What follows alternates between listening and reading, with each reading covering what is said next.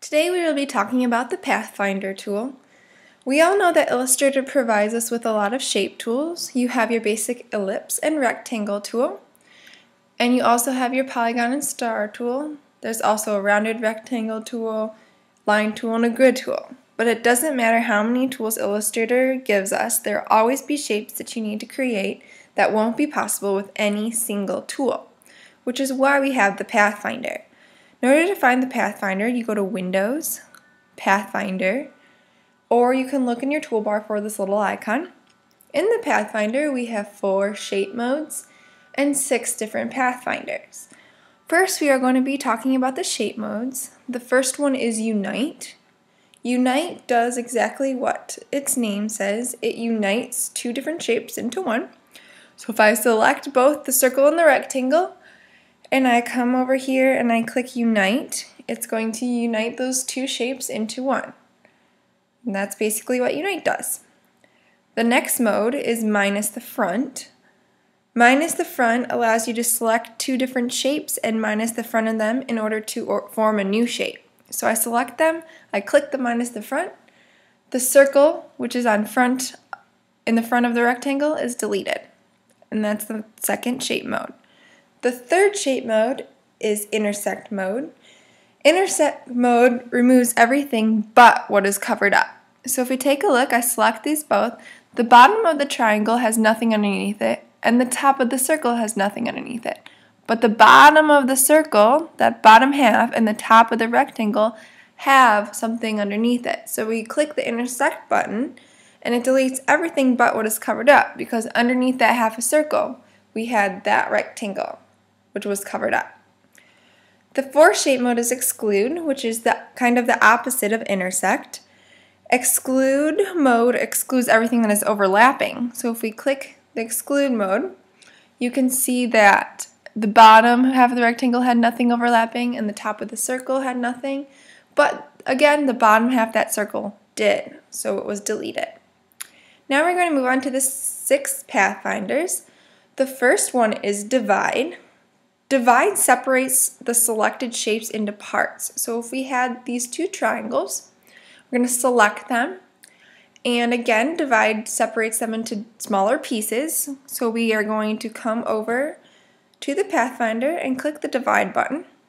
Then I'm going to grab my direct selection arrow and I can pull these parts apart. So now the triangles are not whole shapes anymore. They are different and it forms a new shape. The second Pathfinder is the trim mode. Trim separates the selection, selected shapes into parts as divide does, but it preserves the top shape when there is overlap. So if I have these two triangles again, I have a purple and a pink one, you can tell that the purple one is overlapping the pink, so when we trim it, it's going to be preserved.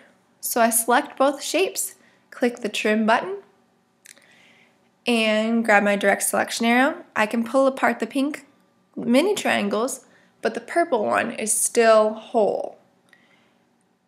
So trim again breaks down the shapes into smaller pieces but preserves the top shape. The third pathfinder is the merge.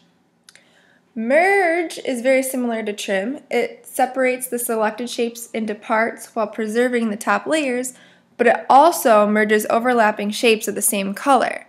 So I have my square, my rectangles and my triangles. I'm going to select them all and click merge. As you can see, the triangles that are all the same color have become one shape, and the rectangles, except for the top, the yellow one because it was on the top layer, are split apart and preserved. So merge does that. The next Pathfinder is crop mode. I like to think of crop as a cookie cutter. Whatever is inside of the top layer shape is what gets cut out. So crop takes the shape of the top layer that is selected and crops everything from all other selected layer, layers that is not within the shape in those colors of, the, of those layers. So if I have my rectangle, triangle, and circle, the circle's the top shape, I'm going to click crop. It makes the circle because the circle is the top shape and it also keeps the green and the purple. The next mode is outline mode. Outline results in the outline of each shape. So if I take my circle, rectangle, and triangle, select them all, click the outline button, you can see that simply every shape was outlined. we have your circle, triangle, and the rectangle. And the last Pathfinder is the minus back mode. Minus back works with two shapes and subtracts the bottom shape from the top shape, so it minuses the back. I have my rectangle and my circle here. I'm going to select them both and click the minus back button. As you can see, the circle, which was on the back is subtracted from the top layer, which would have been the rectangle. And that's the minus back mode. So overall, using the Pathfinder to perform actions can simplify and greatly increase your efficiency with Illustrator, which is why it's so important to know how to use it. With four different shape modes and six different Pathfinders, your options for creating unique shapes are endless. So I hope that after showing you this tutorial of each different mode, that you feel more comfortable and confident with using the Pathfinder.